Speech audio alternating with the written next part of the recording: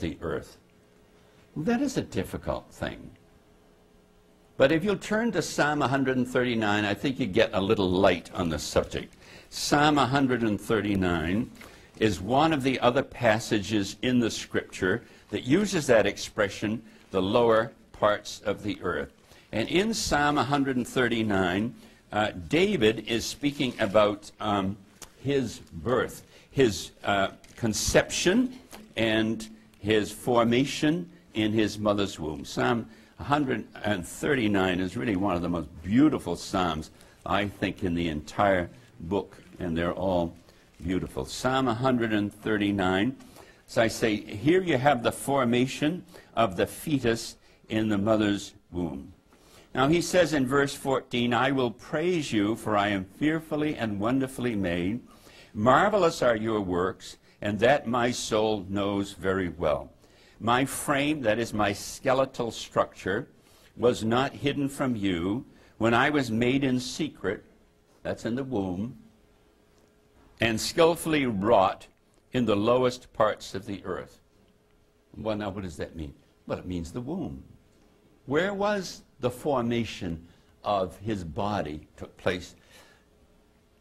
It's a poetic expression. It really helps sometimes in reading scripture to have the soul of a poet. Huh?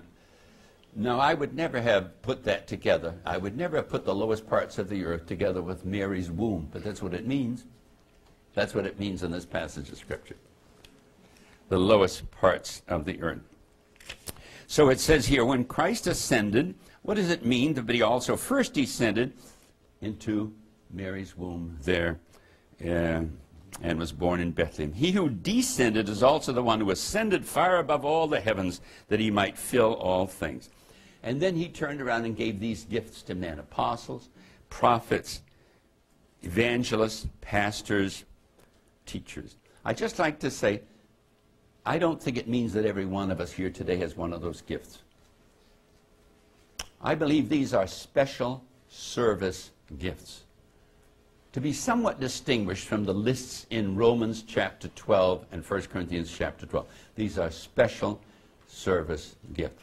First of all, apostles and prophets.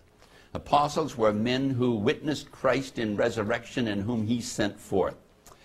The apostles, in the primary sense of the New Testament, are not with us today. We don't have apostles in that sense today.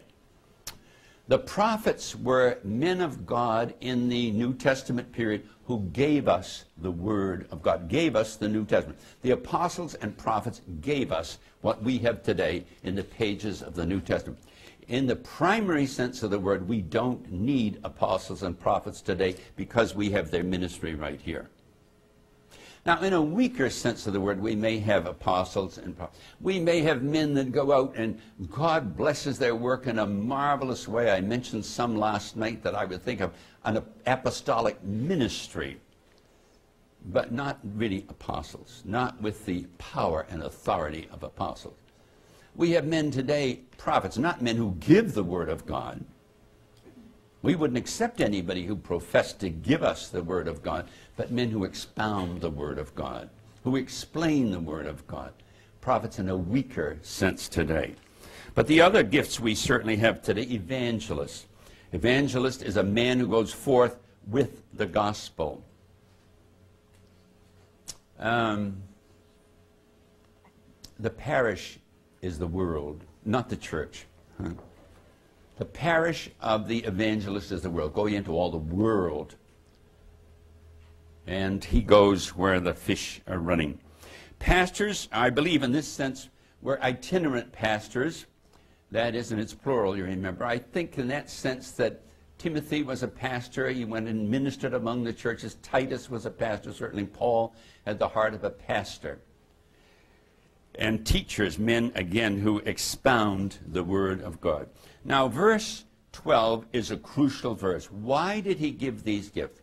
for the equipping of the saints for the work of ministry.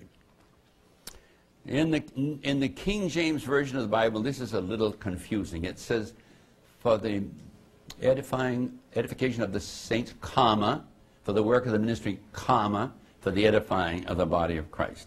Sounds like three different purposes. No, no, no, no. That misses the whole point. For the equipping of the saints for the work of ministry. Look carefully at the verse, and to whom is committed the work of ministry? Anybody? The saints. The saints. This is revolutionary, friends. Not to a select group of clergymen, but to the saints. If you are a believer in the Lord Jesus Christ, the work of ministry is committed to you. You see, the problem is with that word ministry. Whenever you find, for instance, a young man today and he has a special love for the Word of God and he spends his time studying the Word of God and he's growing in the things of God, people say, well, he should go to seminary and study for the ministry. it's completely wrong, that type of thinking. If he's serving the Lord, he's already in the ministry. And so are you, men and women. Saved by the grace of God, you're in the ministry. This is revolutionary. It really does away with so much of what has uh, come down through the years in the Church of Christ. For the equipping of the saints for the work of ministry, for the edifying of the body of Christ. You see, the church, let's say, is young. And uh, how is it going to grow? Well, think of that baby in the crib. And the baby is in the crib and its, its legs are uh, jumping all around and uh, it's flailing its arms and it's yelling, uh, exercising his lungs and that. Uh, you say, what a waste of energy. No, that's part of the growth process. If he didn't use his arms, they would atrophy by his side. He wouldn't be able to use his arms.